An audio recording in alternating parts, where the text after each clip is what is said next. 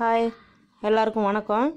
இன்றைக்கி நம்மளுடைய naive desiccated coconut பவுடரை யூஸ் பண்ணி பீஸ் புலாவ் செய்ய போகிறோம் அந்த பீஸ் புலாவ் வந்து நைவ் டெசிகேட்டட் கோகோனட் பவுடரை யூஸ் பண்ணி அதாவது அதிலிருந்து பால் எடுத்து நம்ம வந்து பீஸ் புலாவ் செய்ய போகிறோம் அதுக்கு தேவையான பொருட்களை இப்போ நம்ம பார்ப்போம். இப்போது நாலு பச்சை மிளகாவை வந்து நான் கீந்து வச்சுருக்கேன். சின்ன சின்னதாக கீந்து வச்சுருக்கேன். அடுத்தது கருவேப்பிலை ரெண்டு கொத்து. நமக்கு தாளிக்கிறதுக்கு ரெண்டு கிராம்பு பட்டை அந்த பூ இலை எல்லாத்தையும் வந்து மிக்ஸ் பண்ணி எடுத்து வச்சுருக்கோம். அடுத்தது வெங்காயம் பெரிய வெங்காயம் மூணு அரிஞ்சு வச்சுருக்கேன். ஃபஸ்ட்டு இப்போ நான் அடுப்பில் ச கடாயை வச்சுட்டு குக்கரை வைக்கிறேன். குக்கரை வச்சுட்டு அதில் வந்து ரெண்டு ஸ்பூன் நெய் விட்டுக்கிறேன். நெய் விட்டுட்டு அது மேலே கொஞ்சமாக எண்ணெய் நான் சேர்த்துக்கிறேன் நல்லெண்ணெய். எண்ணெயை சேர்த்துட்டு ரெண்டையும் வந்து ஹீட் பண்ண விடுறேன். ஹீட் பண்ண உடனே நான் கொஞ்சம் சோம்பு அந்த கறி மசால் பட்டை அப்படின்னு சொல்லக்கூடிய வாசனை பொருட்களை நான் அதில் சேர்க்குறேன்.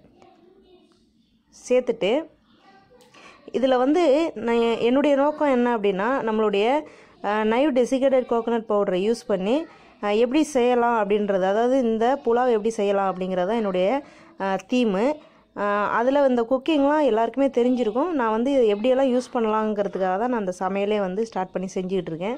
ப்ளஸ் அதோட ஒரு ஆர்கானிக்கு ஃபுட்டு அப்படிங்கிறதையும் நான் வந்து உங்களுக்கு தெரிவிக்கிறேன். அடுத்தது பச்சை மிளகா சேர்த்துட்டேன்.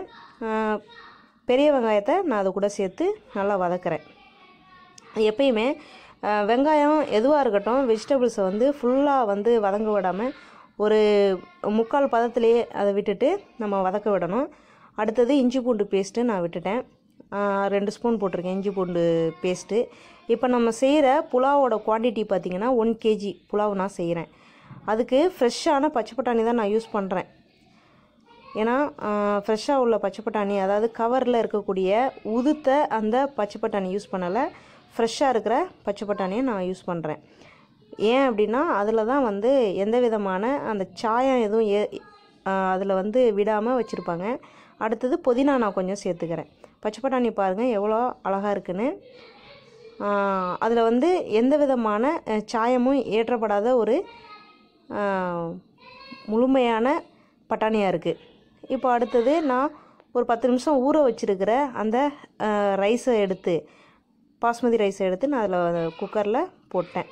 பச்சை பட்டாணி பாருங்கள் ஓகே. இப்போது நம்மளுடைய நைவ் டெசிகேட்டட் கோகோனட் பவுடர்லேருந்து எடுத்த மில்க்கு நான் வந்து இதில் ரெண்டரை உலக்கு அது ரைஸ் போட்டிருந்தேன்.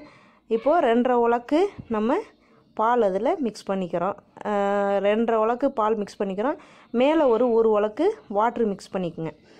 ஏன்னா ஒன்றுக்கு நம்ம வந்து ரெண்டரை யூஸ் பண்ணோன்னா கொஞ்சம் சாதம் ட்ரையாக நல்லா வேற வேறையாக இருக்கும். சாப்பிட்றதுக்கு நல்லாவும் இருக்கும். உதிரி உதிரியாக வரும். ஸோ உப்பு கல் உப்பு சேர்த்துட்டேன். இப்போ மிச்சம் இருக்கிற அந்த புதினாவை நான் அது கூட சேர்க்குறேன். சேர்த்துட்டு நல்லா கிளறி விடுங்க. கிளறி விட்டுட்டு குக்கரில் அந்த மூடியை போட்டு மூடிட்டு விசில் விட்டுருங்க.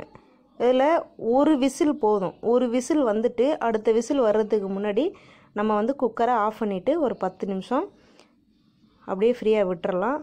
ஆட்டோமேட்டிக்காக அது வந்து குக் ஆகி ரைஸ் குக் ஆகி நமக்கு ஒரு அழகான டிஷ் ஒன்று நமக்கு கிடைச்சிரும்.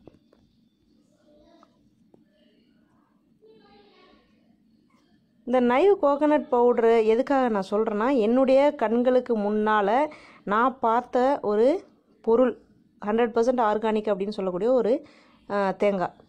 ஓகே இப்போ பாருங்கள் ரைஸ் எவ்வளோ அழகாக வந்திருக்குன்னு. இதை அப்படியே எடுத்து நம்ம குழந்தைங்களுக்கு சர்வ் பண்ண கொடுக்கலாம். ஓகே தேங்க்யூ ஃபார் யுவர் வாட்சிங்